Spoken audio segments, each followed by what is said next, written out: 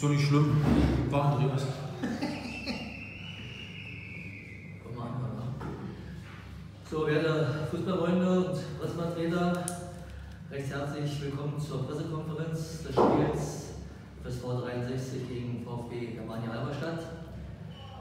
Ich begrüße ganz herzlich den Gästetrainer Andreas Petersen und neben meiner rechten Seite Sven Toss vom eigenen Verein hier. Ich denke, der Gast wird mal eine Einschätzung geben, wird mir nicht schwerfallen bei dem heutigen Ergebnis, aber dennoch ein paar kritische Anmerkungen vielleicht noch vollziehen. Ja, hallo erstmal. Kritisch gar nicht heute. Ist, äh, wir wollten von Anfang an seriös Fußball spielen, zeigen, dass wir, ich glaube, in diesem Jahr die Überraschungsmannschaft der Liga waren mit unserer Art, wie wir uns weiterentwickelt haben.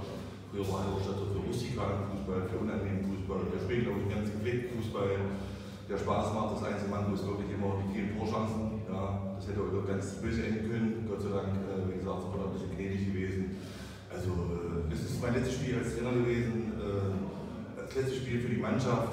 Platz 7 abgeschlossen. Ich glaube, man kann rundum zufrieden sein, machen wir bei zu Hause noch eine gemeinsame Abschlussfeier. Dadurch hat man natürlich auch ein bisschen Lust und, und, und Laune dazu. Ich glaube, es wird uns nicht so gut gehen, aber es ist, es ist halt Fußball das letzte Spiel. Ich wünsche Sven und weil natürlich alles eigentlich gut und in meiner Mannschaft kann ich einfach nur sagen, Kompliment, Kompliment. Das hat schon was mit Fußball zu tun. Natürlich bist du halt selbstbewusst auch in dieser Tabelle schwebst, wo du eigentlich vorher Angst hattest, dass man da in diese Richtung kommen kann. Ich glaube, Hamburg kann stolz sein, die Region kann stolz sein, wie die Mannschaft in den letzten zwei Jahren sich entwickelt hat, welche Ziele sie erreicht hat.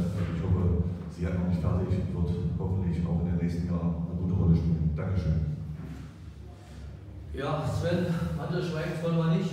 Dennoch eine Einschätzung. Ja, Andreas, erstmal Glückwunsch. Du hast ja viele Dinge schon aufgezählt. Absolut verdienter Sieg und äh, für uns wirklich noch glücklich am Ende des Tages, dass wir nicht zweistellig beschossen werden.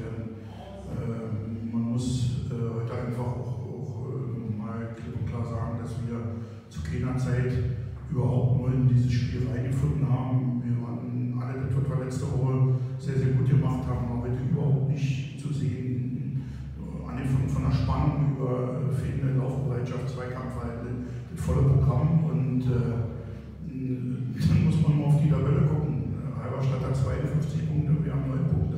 Und genau so waren heute die Unterschiede beim Niveau und was fußballerische Know-how anbelangt. Und äh, wenn es eines heute noch bedurft hatte mit so, mit so einem Schlussresultat, dann noch die Erkenntnis, dass jeder, der hier noch irgendwie hofft, dass wir in der Regionalliga bleiben, über irgendeine Hintertür, aber ganz schnell sich von diesen Hoffnungen verabschiedet, weil äh, es nicht machbar wäre, in der Kürze der Zeit eine Regionalliga für die Mannschaft auf die Beine zu stellen. Vielleicht ist es dann auch genauso gerecht, dass wir wieder in der Oberliga neu starten müssen. Und äh, heute, äh, wir haben auch eine Abschlussfeier, äh, ich tue mich sehr, sehr schwer, äh, nach so einem Spiel noch irgendwann zu feiern.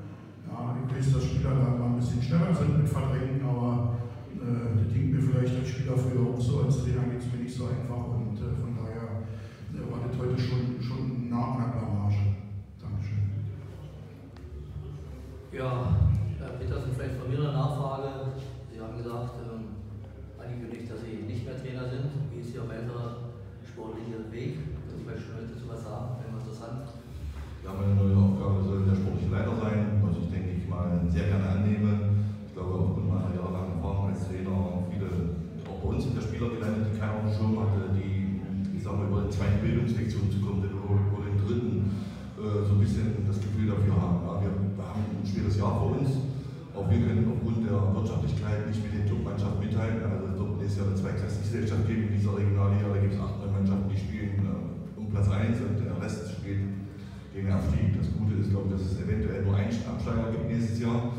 Aufgrund, dass der, der erste direkt hoch kann, aber man weiß ja nie, was aus der dritten Liga runterkommt. Und von dem her wollen wir uns so aufstellen,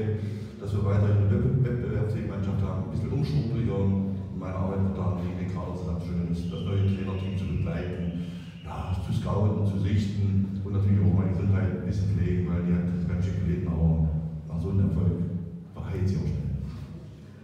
Ja, Dankeschön. Nachfragen von der Presse? Habt ihr eine Zuschauerzahl? 203.